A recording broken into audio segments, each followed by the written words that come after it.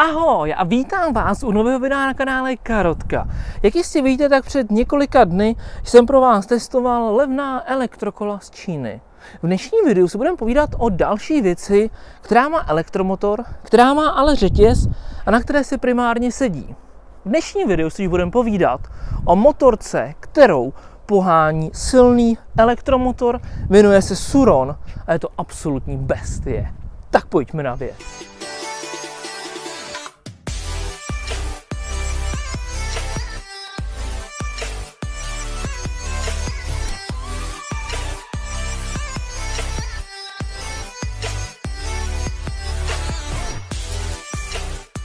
Přesněji řečeno se tato věc, démon, jmenuje Suron Light B L1E X COC.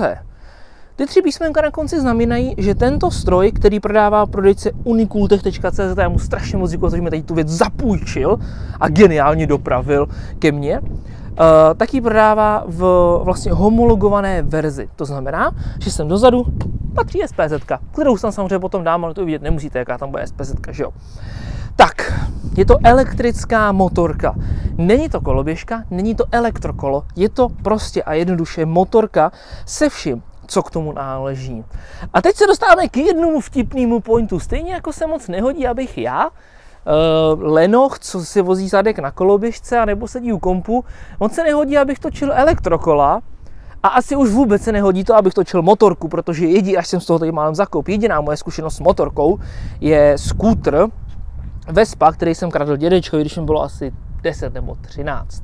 Uh, tak jo, pojďme si povědět tady o té mašině. Já to zvoleně budu číst. Tady ta mašina stojí něco kolem 117 tisíc korun u Unikultechu, takže ano, je to drahé. Tady ta mašina má dva režimy výkonu. Standardní režim má 3000 W, Sport mod má 5400 W.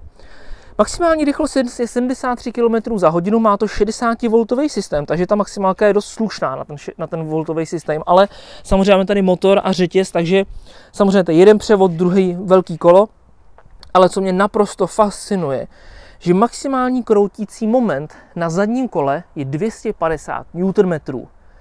250 Nm, pokud se nepletu, měli Octavia 1.9 TDI. What the fuck? A to má tady ta věc. 250 Nm.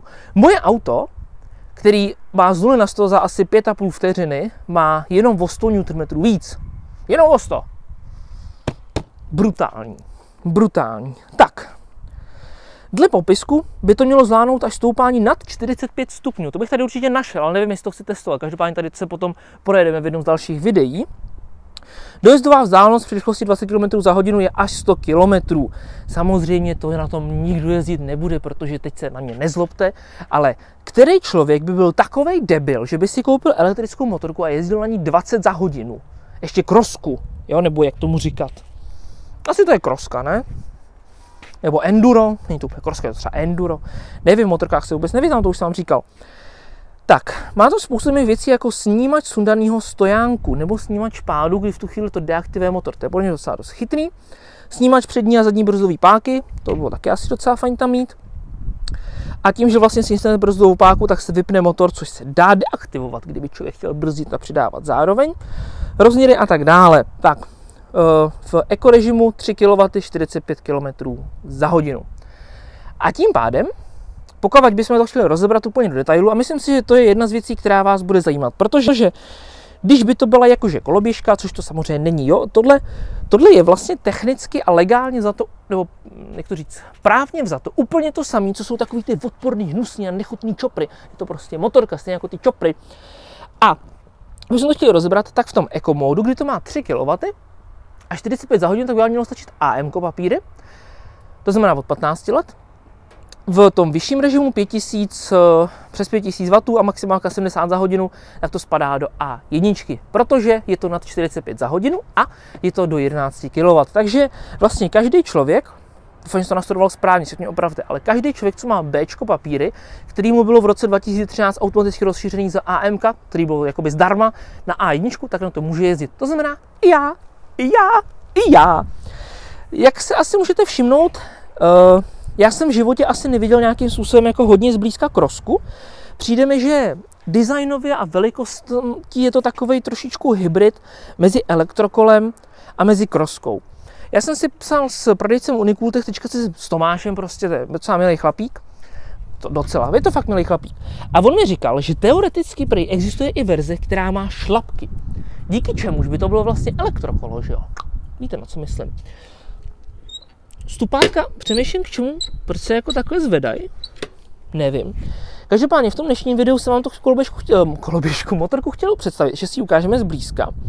A v jednom z dalších videí se na ní i projedeme. Já jsem původně na ní chtěl frajersky takhle přifrčet sem, jenže uh, já jsem si nechal doma vodní klíčky. Každopádně podívejte se, jak to pružení je opravdu měkké. Tady vepředu vidím nastavování na pružení. Vzadu na tom tlumiči taky, dá se, jasně, dá se to nas, nas, naštelovat, nevím, kam jsem šteloval teď. Nevím, jestli to je tvrdší nebo měkčí. Každopádně plyn normálně na ruku, má to normálně zrcátka, ty jsou k tomu, má to normálně blinkry. Je to prostě regulérní motorka. Není to kolo, není to koloběžka, je to prostě a jednoduše motorka. Wow. A víte, co je na tom nejhorší? Já jsem z toho tak strašně nadšený. Já mám hroznou chuť si to koupit. Ale ne, nekoupím si to. Budu mít syna, musím být trošku zodpovědný. Pojďte se na tom mrknout zblízka.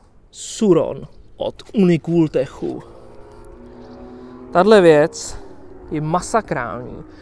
Musím říct, že to přední světlo mi evokuje takový mírně, řekněme, jakoby retro design. Fakt se mi to jako líbí, vypadá to podle mě moc hezky. Eh, co mě trošičku překvapuje, jsou ta kola. Řekl bych, že klasická kroska má pneumatiku něco širší. Takže ano, je vidět, že to je trošičku takový hybrid motorky s nějakým offroadovým kolem. Potom ze zadu vidíme, asi předpokládám, že tohle má být blatní, pak jako tohle vám kryje prdel a tohle potom kryje tlumení. Takhle trošku. Víte co, vezmeme to hezky postupně, odzadu. Tak, vzadu máte samozřejmě světilko, blinkry, místo pro SPZ. Když jdeme takhle, tak máme sedátko.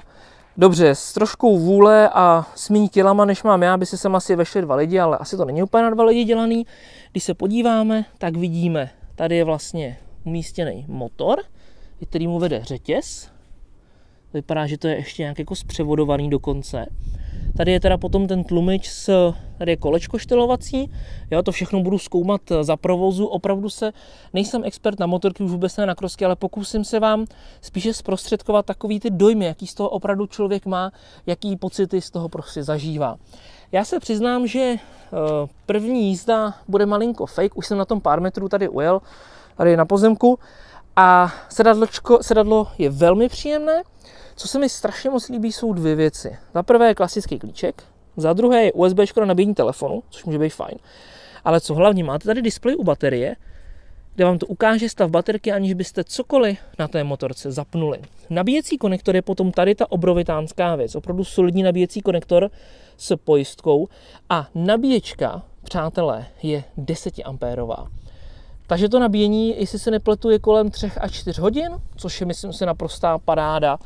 Takže jako jasně, když si koupíte benzinovou krosku, tak s tím můžete dělat eh, hovadiny a potom za dvě minuty natankujete jede dál. To tady nejde, ale i tak je to nabíjení opravdu velmi rychlé. Na řídítkách potom klakson, blinkry, sport a eco, nebo EP asi jako not extreme power, těžko říct. Brzdy jsou samozřejmě hydraulické, značky Suron mají své, svoje brzdy.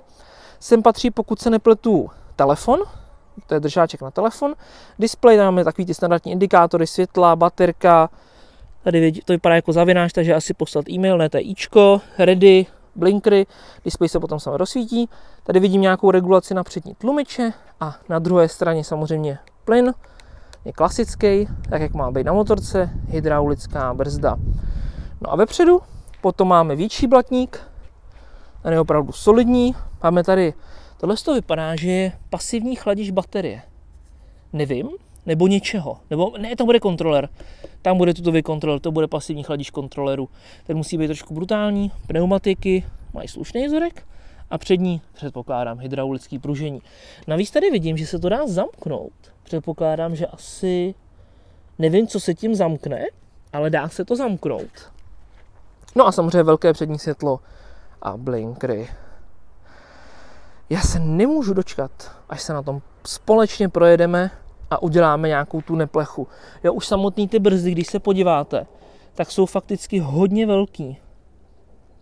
Fakt jako pořádný brzdový desičky, ne jako nějaký ty blbosti, co máme my na těch koloběžkách. Doufám, že mi řetěz nespadne, nikdy jsem ho nenadával na motorce, nadával jsem ho párkrát na kole, ale na motorce nikdy. Jo, říkal jsem, tady vlastně vidíme, že ten řetěz, takže teoreticky tady by se na to dali dát teoreticky, říkám teoreticky šlapky, tak by z toho teoreticky bylo elektrokolo. Teoreticky. Stupátka nevím, proč jsou skládací. Jestli to je kvůli tomu, že jako když člověk jako to bude nějak klopit, tak aby to neurval. Nevím. Ale ten design, jako fakt ta červeno-černá je podle mě nádherná. Tak jo, přátelé, to bylo takové jednoduché představení elektromotorky Suron Light B od Unicool Techu. Já jim ještě jednou moc děkuji, že mi ji půjčili. Už brzy se na ní společně projedeme a myslím si, že to bude opravdový zážitek. A hlavně bude to něco úplně jiného než koloběžky. Tak si mějte moc krásně, hoďte mi do komentářů, jestli se vám líbí, když trošičku odboču od koloběžek k jinému způsobu elektromobility. Mějte se strašně moc krásně a zase příště. Čau,